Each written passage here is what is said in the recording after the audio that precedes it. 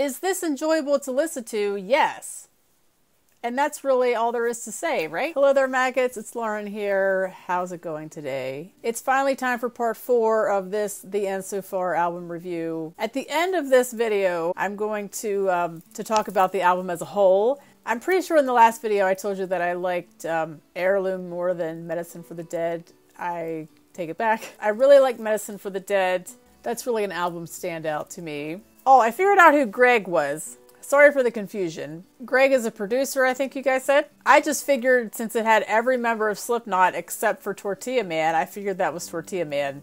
So thank you for clarifying. I'm just, I think this is hell. That's what I'm thinking. Let's hope it doesn't sound like hell. The best of Sid. Okay, here we go.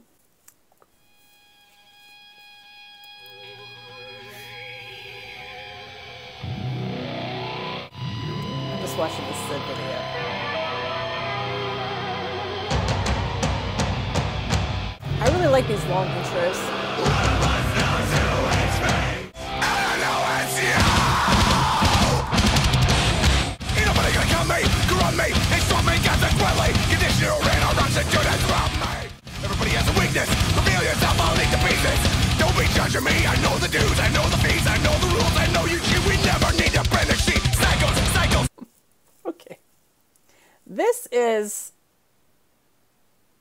a standout. This is like reminding me of some old school kind of Slipknot.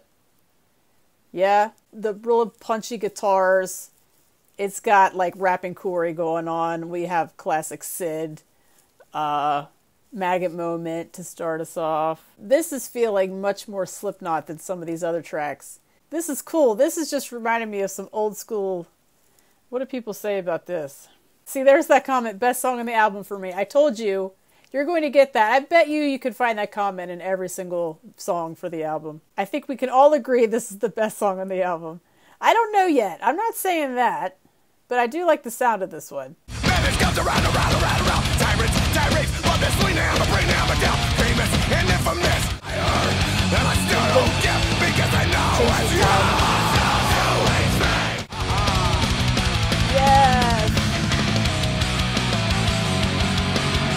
Gotta have a Corey laugh somewhere in the album. The was in my head, my head was in the ground. The ground was all decayed.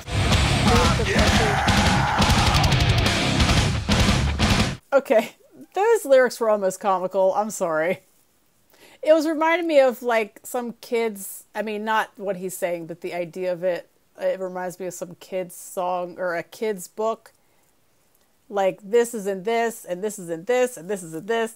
I was a sign. The sign was in the eyes. The eyes were in the skull. The skull was in the wall. The wall was in my head. My head was in the ground. It's like the woman who ate the fly or something. Is that the one that does that? It sort of builds on the woman who ate the fly.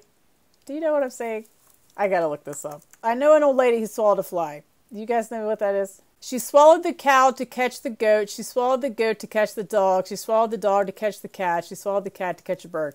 That's what that reminded me of. So what's strange is like when it first started, I was thinking this was kind of old school Slipknot, but now that I'm listening to it more, I think it sounds more like We Are Not Your Kind Slipknot. I think this would fit on that album. I know the Reaper is a liar. I like it as a whole, but those lyrics I'm not crazy about.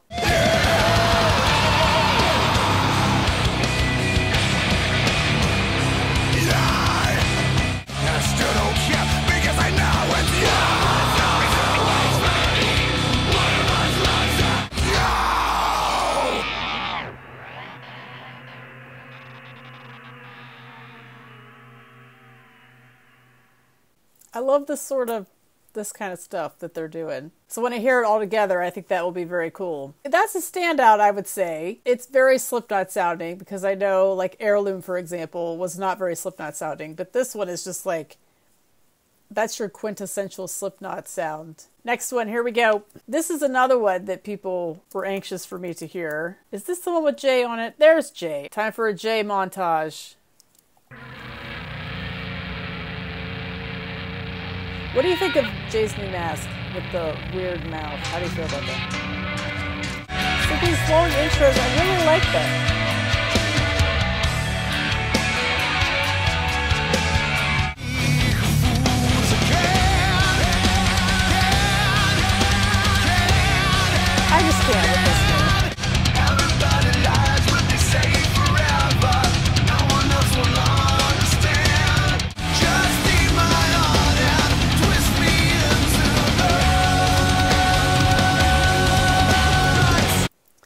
This is uh, Corey frickin' Taylor being romantic.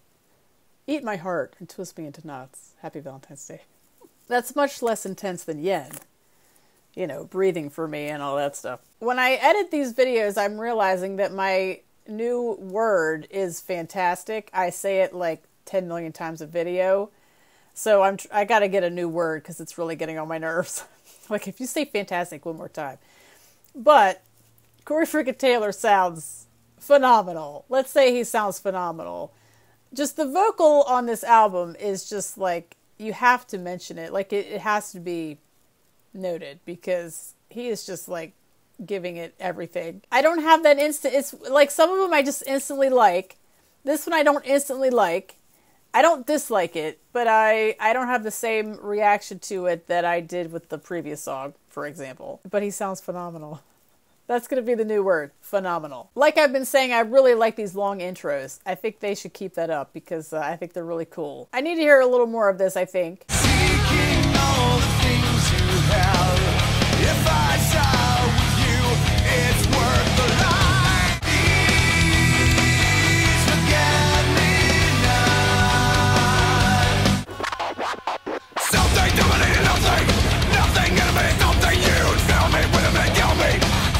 That's where the spike was. And if I had to guess, it makes sense. Let me see what people say about this. It's funny because a lot of the comments are not about this particular song. They're always just about Slipknot in general, the album in general. I did not like this song the first time hearing it. Now it's stuck in my head. I truly love it. My favorite song on the album. There you go. See, you're going to get it. Every song, you're going to hear that.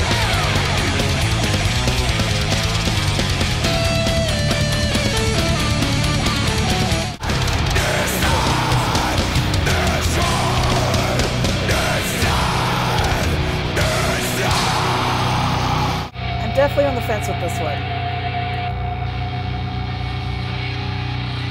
Definitely. This one is probably up there with uh, Adderall as far as being confused by, like trying to figure out if I like it. You know, what do you think of this one? This is uh, this is definitely a title that I remember seeing like for a year, I guess. Now I gotta turn my brightness up. The sun went down.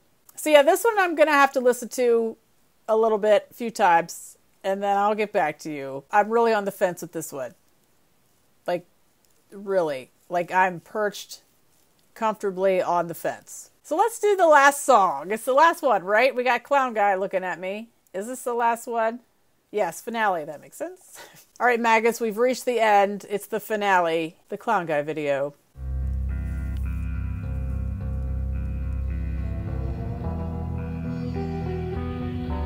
This is very nice. I know it's a shame, but I gotta stay, cause I like it here. I know it's a shame, but I gotta stay. this one instantly on board with it's funny how that works like the last one i'm just like totally not sure this one absolutely strings yes melodic corey yes it's just funny hearing this song and watching clown guy like banging a keg and stuff it's just like like what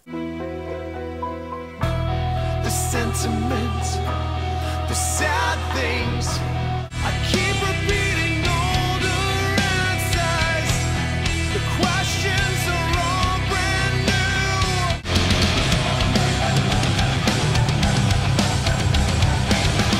the mask ladies welcome back mask ladies. Yeah i really like this i mean i don't know how you could not like this. I think this is the perfect way to end the album. Yeah i just i'm a big fan. And again i have to say corey freaking taylor. Dear god. His vocals are just stellar. He just has such a cool voice. But that's not that. I know it's a shame. The ultimatums, i like the, the the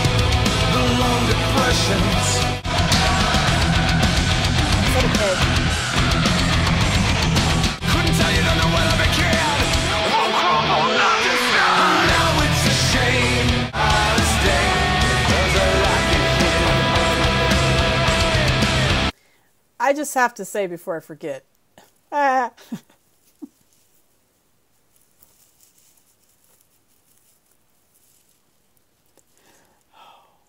Oh my god. That was perfect. I swear to you that was not planned. That was just a natural Slipknot reference, an accidental Slipknot reference. I'm very proud of myself. I remember saying in one music video that I did that it seems like Clown Guy always has the last shot of the video. And I don't know if that is accurate. I would have to look at all their videos and see. Devil in I comes to mind, and Kill Pop comes to mind, and maybe Sulfur, where it's just sort of like duality, duality. Like he just has like a big keg hit, and then the song is over. The video is over, they're done. And so I just find it uh, fitting that Clown Guy is the video for the final song on the album. It's just like sticking with tradition. Love. Now, is that Pinhead or is that Tortilla Man? Get it, Mask Ladies.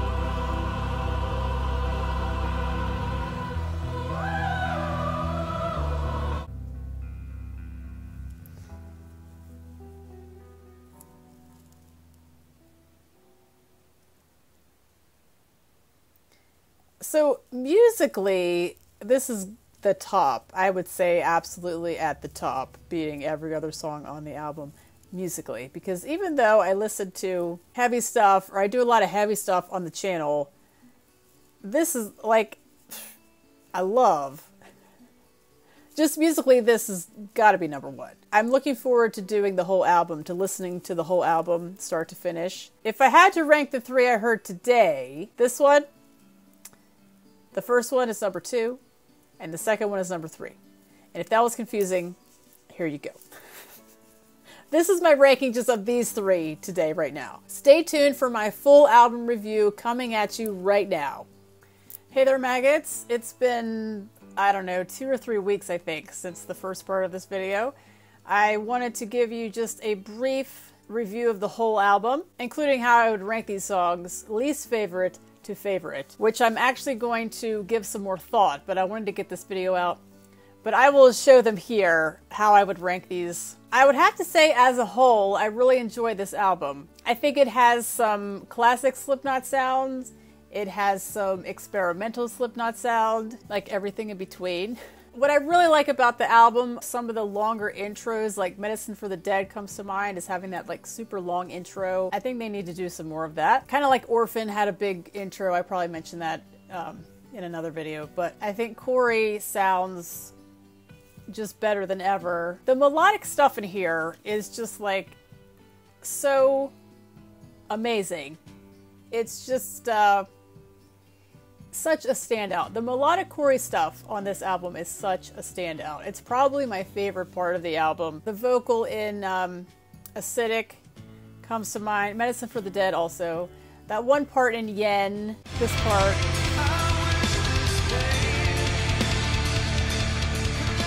The the final song finale. That one had some uh, some standout melodic Corey going on, and the strings also. Mocha's here just landed my coffee. Here, cheers. Cheers to you, maggots. Treating the album as its own thing, which you should do, I would rate it very high. If I'm ranking the album as far as like being a Slipknot album like Days of Old, then I probably wouldn't rank it as high. But just, is this enjoyable to listen to? Yes.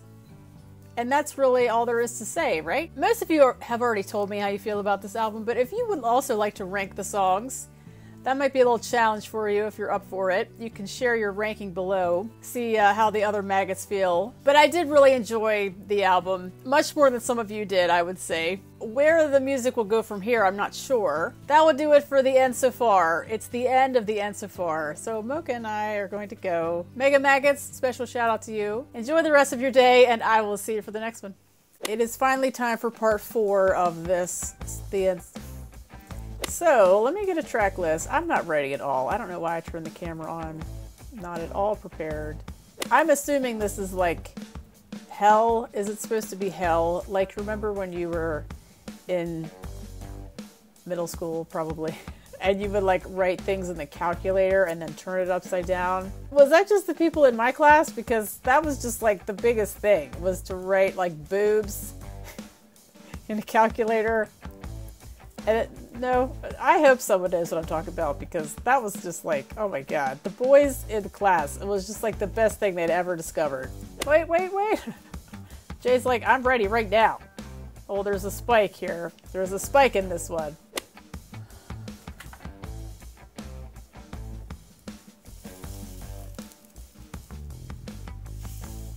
We lost Angry Maynard. He just fell down. Angry Maynard is like, Are you ever going to be done this album? It's time for me. There you go. Now he's more prominent than before. Take that.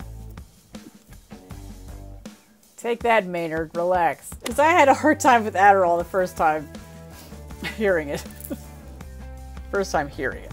Talk about. I, I don't know. This man. I just can't. So look for that in a few days. I mean, actually, it's going to be in the next few seconds, but for me, it will be in the next few days. I'm going to do that. That will do it for this album. So now I can quit hearing about it. I'm just kidding. I understand. Enjoy the rest of your day.